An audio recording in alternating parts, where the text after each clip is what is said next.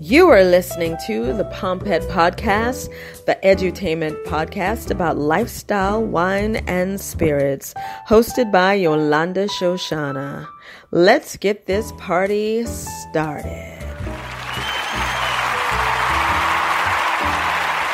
Hey, hey, it's Yolanda Shoshana. Thank you so much for tuning in to the Pompette Podcast. Uh, Pompette means tipsy in French, so now you know. Let's talk vodka.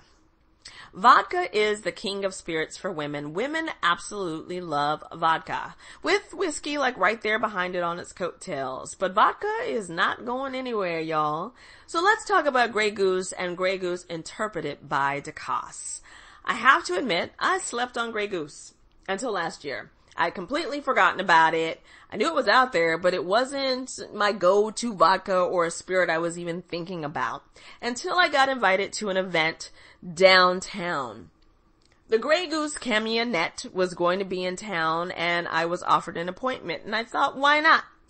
This camionnette travels the world. It's known as the world's most intimate bar because it only seats two people and the bartender. So basically it's you, one other person and the bartender. It was so lovely because it's so cute and very classic.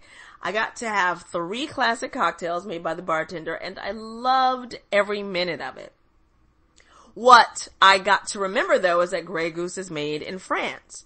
Being a huge Francophile, I was like, voila, I'm back. Uh, fast forward to the end of, toward the end of last year, around October, the end of October, I was invited to a master class with the distiller of Grey Goose. Francois Thibault was going to be in town and they were going to do a lunch. And that lunch is where I really learned so much more about the brand, things that I did not know and hadn't thought about in years. Uh, Grey Goose is actually made for Americans. It is a luxury brand targeted to Americans, but of course French people do drink it as well. It is made with a soft winter wheat. Uh, the wheat, I believe, is from Picardy, and then it is distilled in cognac. In fact, to me, the vodka is very much made like a cognac. Uh, which is not a surprise because Francois Thibault was born and raised in cognac. His family made cognac. He made cognac for a, a bit and then he went and he learned how to make wine. And then he kind of got a tap on the shoulder from Sidney Frank, the self-made billionaire who wanted to start this luxury vodka. He kind of tapped him on the shoulder and said, Hey, I want to make this luxury vodka because I see a need in the market. Can you help me? I guess Francois liked the challenge because he didn't know anything about vodka, but he said yes. uh, and the rest is kind of their history. He taught himself the process of making vodka. He says it's very similar to making wine and cognac and this is now what we have in this beautiful bottles, this beautiful Grey Goose. Um, I loved hearing the history of it. I thought it was just so interesting. And everything that they do is in France. Their products are from France. From there's a cherry noir vodka. The cherries are going to be from France. The citron is from France. So they they like to get local. Their Anjou apples. No, that's the pear. Anjou is where you get the pears from, and all this wonderful, delectable stuff that goes into their bottles is very French and made with love. They also, what I found to be so interesting, they've worked with the Perfume Institute to make sure that what you smell coming out of the bottle is pleasant and beautiful. Because, uh, as Thibault said, that once you distill something, it changes the way that something smells. So they've made sure that there are these special little touches that go into each bottle. Which brings me to Grey Goose interpreted by Ducasse. That is Alan Ducasse, the renowned chef. They have done a collaboration to create a vodka. What I love about Ducasse is he said he did not want to make a flavored vodka. He was like, mm-mm, not about that life. And he also said this is his only collaboration he will be doing with spirits, which I love. I love it when you can kind of put your foot down and go, uh, not about that life, but I will do this. So the Grey Goose interpreted by Ducasse is very much like regular Grey Goose with special touches. There are notes of cocoa, uh, coffee beans and vanilla in the vodka. I do think that someone with a more sophisticated palate might be able to taste those notes. Because I, I've read that some people don't taste a difference, but I believe it's also about your palate. If your palate is more advanced, more sophisticated, it's gonna pick it out right there. I can pick them out. And I love the, the vodka myself. It's also the first gastronomy vodka, so it's meant to to have when you have food.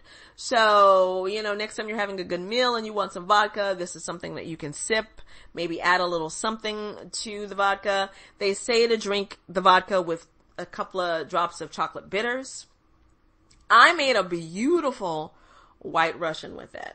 A fancy white Russian that is. I just think that the hint of cocoa and coffee go really great, uh, with the cream and the Kahlua. But, the one thing that I did mix together with it, which I thought was just stunning and what I call an orgasm in a glass, is Frangelico. Frangelico is this lovely hazelnut liqueur from Italy. So I put some Frangelico on ice and then I poured in some of the Grey Goose interpreted by Ducasse and I'm gonna tell you, it's magic in a glass. It's just beautiful. They bring out each other in the most wonderful way. I'd been looking at that bottle of Frangelico for a while, not knowing what I wanted to do with it, but as soon as I got this Grey Goose, I was like, that, that, that, and it wins. Hashtag winning. so good. I would pair it with a dessert, like a brownie, um, some chocolate cake, also some nice hard cheese, like, um, an aperitif, like right before but I also think it would go good if you have something that has a peanut sauce or a sauce that has some nuts in it. It would be so delicious with that. So I think it's a wonderful vodka. I highly recommend it for a gift. You know, Valentine's Day is right around the corner. So if you have a vodka lover in your life, getting it as a gift is awesome. But if you're gonna have a wonderful meal at home, it's also good to just put in your home bar if you entertain at home. It's just wonderful to have and it gives like a little kick to the Grey Goose in your life.